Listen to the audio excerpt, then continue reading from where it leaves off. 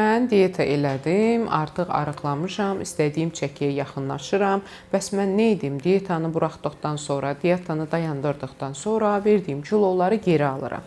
Yaxşı, biz belə hallarda nə etməmiz lazımdır və biz kilomuzu necə qorumağa çalışmalıyıq. Burada əsas olaraq vurğulamaq istədiyim nüanslardan biri də budur ki, biz mütləq ki, arıqlama dövründə təbii ki, kilomuz və boyumuza uyğun olaraq çəkimizi tənzimləməliyik. Dieta dövründə günlük alacağımız kalori miqdarı 1000-i aşmamalıdır.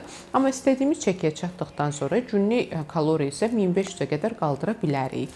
Və e, mütləq şəkildə dietamız bitdikdən sonra çəkimizi qorumaq istəyiriksə, yenə də şəkər və unlu məmulatlar yanlışlardan tamamilə uzaq durmamız lazımdır.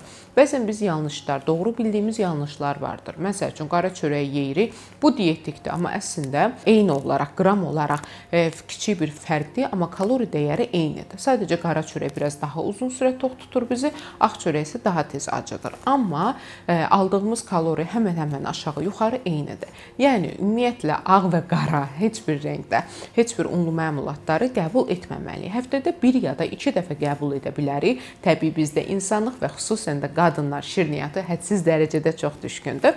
Hətta bu məndə də belədir və normalda bir dilim keks, bir dilim e, e, şokolad, bir e, qab, yəni yeyəcəyimiz şirnilərdə 400, 朱哲良。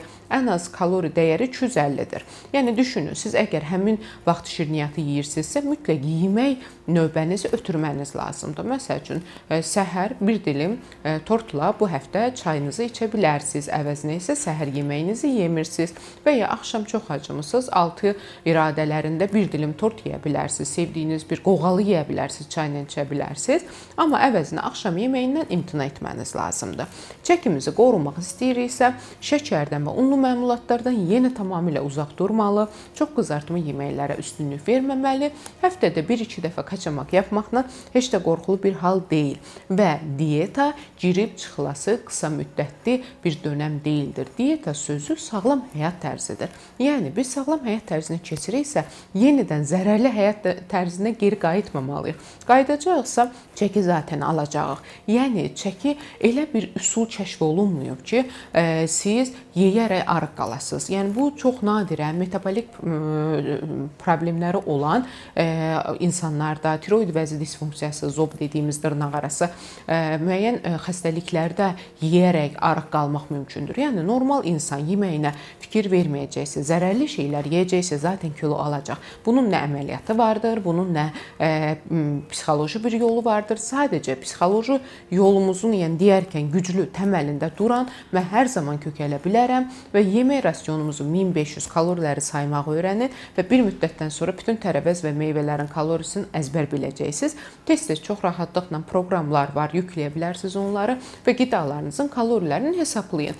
Dieta dövründə 1000 kalori ən aşağı kaloridir. Kəskin dietalarda daha sürətli arıqlayırsınız və hər orqanizm fərqlidir. 4-5 kilo aylıq olaraq kilo verməmiz heç də qorxulu deyil və dieta dövründə şəkər mən düşünmürəm ki, məsələn mən 1 ay bu dietanı tutacağam, bitsin bu 5 kilonu verim, canım qutarsın deyə dietanı dayandıracağam. Belə düşünsəz həmişə kilo alıb verəcəksiniz. Bu həm fiziki olaraq sizin qüsurlar yaratmağa başlayacaq dəridə və digər, həm də bərabərində sizin psixikanız pozulub diyetaya bir güvənsizlik yaranacaq. Diyeta girib çıxılası bir süreç deyil.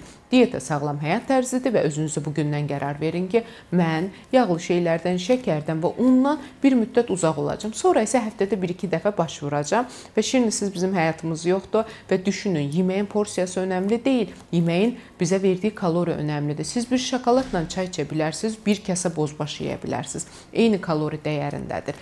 Yəni siz ay bir e, mürəbbə ilə çay içim, heç nə olmaz nədir ki, bizi kökəldən atışdırmalıqdır.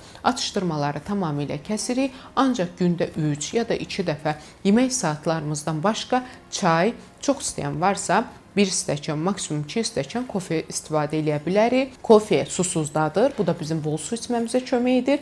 Kofe ə, e, enerji depolandırır, təzyiqimizi tənzimləyir. Çünki dietada olanda bəzən insanlar ə, e, az qidalandığı üçün bir müddət adaptasiya dövründə baş ağrıları, təzyiqin düşməsi olur. Bu biraz da psixolojiyadır, həm də bərabərində bədənin müqavimətidir. Bu məndə də olub, hər kəsdə olub və bu dövrdə biz baş ağrılarımıza qalib gəlməliyik və kofe ilə bunu tənzimləyə bilərik. Amma çox kofe tükətimi, ürək ürək-damar xəstəliklərinə və infarkt riskinə, bərabərində D vitaminini bədəndən yuyub çıxardır. Ona görə də ə, mütləq şəkildə kofenin də nəzarətdə içərik və içəriksə və sağlam həyat tərzinə keçəriksə çəkimizi hər zaman qoruya bilərik.